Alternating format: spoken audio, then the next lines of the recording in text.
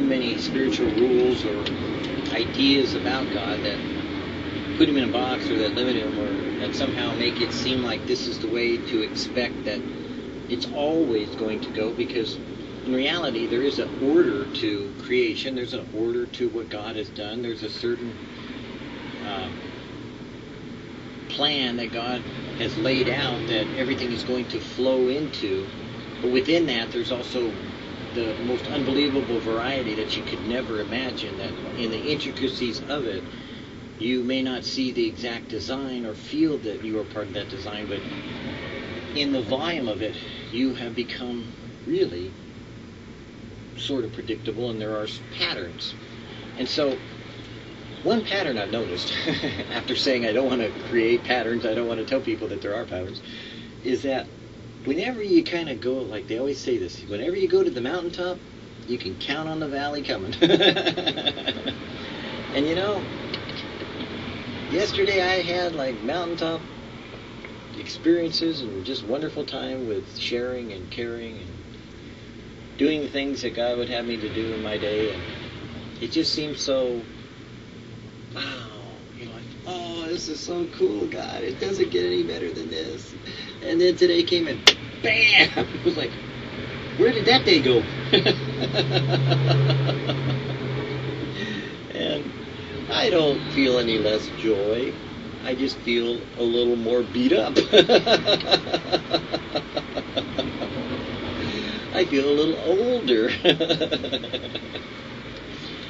but that's what being a mature believer is. You recognize the times that when you think that everything's going to go just constantly up, there's always going to be the times that you come back down into the valley and you deal with all that that incurs, which the, the symbolism we talk about is that when Jesus and the disciples went up the mountaintop, they saw him transfigured, he was changed before their eyes, and they saw him in his glory that he had with the Father, and they were so amazed by it that they fell down on their feet, their face, and even Peter wanted to make little temples for him and worship him, and you know, because God was there and God spoke, and you know, he told him like, look, hey, straighten up your act, listen to my son, he'll tell you what to do.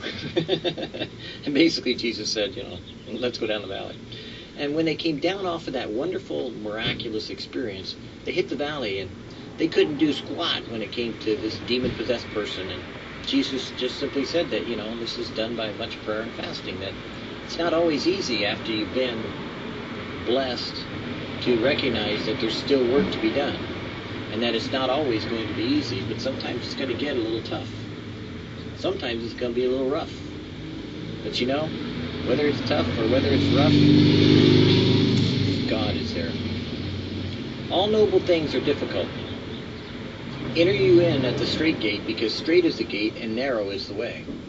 Matthew 7 13 14. If we are going to live as disciples of Jesus, we have to remember that all noble things are difficult.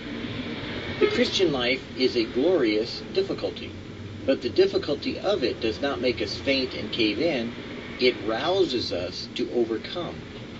Do we so appreciate the marvelous salvation of Jesus Christ that we are our utmost for his highest? Hmm, finally found where they said it.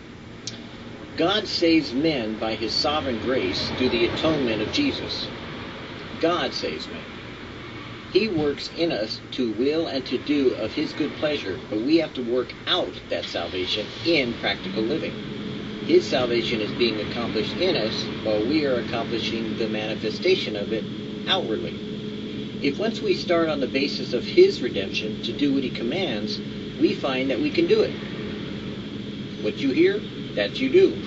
what you know, that you do. When you don't, you will know, because it won't go. if we fail, it is because we have not practiced. We have not done it. We did not put it into our lives. The crisis will reveal whether we have been practicing or not. If we obey the Spirit of God and practice in our physical life what God has put in us by His Spirit, then, when the crisis comes, we shall find that our own nature, as well as the grace of God, will stand by us.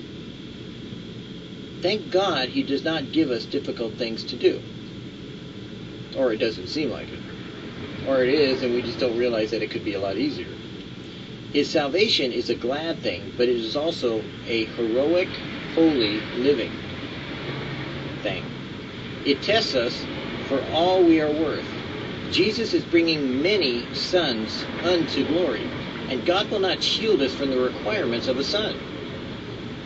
God's grace turns out men and women with a strong family likeness to Jesus Christ. Not milksops, not babies, not whiners, not criers.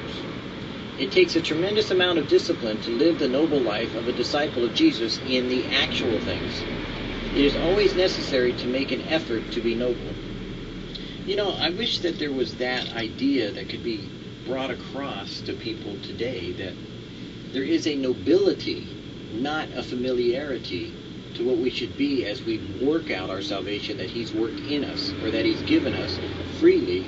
Because sometimes we bring God down and we make Him into somebody that works within our society or works within our our age group or that somehow, you know, Jesus is hip or Jesus is this or Jesus is that. How about we become like Jesus rather than we make Jesus like us? Because then I think we rise from the ashes of our humanity, which is a devastating and shocking you know, experience and failure, and we become godlike in the sense of putting on godliness, which really is what Chambers is talking about, which is nobility. We need to become like God so that we would exemplify the price that Jesus paid for our salvation and that we would work that out in our lives, showing that, yes, we are saved by grace. Yes, we are being changed. And yes, we are becoming more temperate, more meek, more kind, more able to do those things that we know we ought to do that many times we don't do because we think we can just set it aside or say, nah, it's no problem. We'll do it next time. Or it'll get better in the by and by. But the reality is, today is the day we hear his voice. Today we can be like Jesus. Today we have his salvation. Won't you work it out? Won't you bring it out? Won't you make it reality in your life as he wants you to do? As you don't react to the things around you, but you take it to the Lord in prayer, as you are merciful, as you are kind, as you are meek, as you are gentle, as you are tender, as you are extending grace, as you love your enemies and those who despitefully use you? Isn't that what we want to be? Isn't that what we ought to be? Don't you think that's what we should be?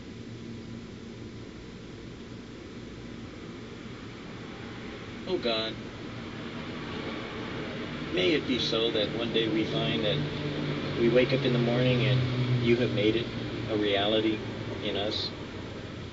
Because God, when I look in the mirror of my own manifestation of Jesus, I don't see your salvation, but I see your grace. I don't see me like him. But I know that you began a good work in me, and that you will not leave me until you complete it unto the day of salvation. Make me like Jesus, Lord. Make me like Jesus.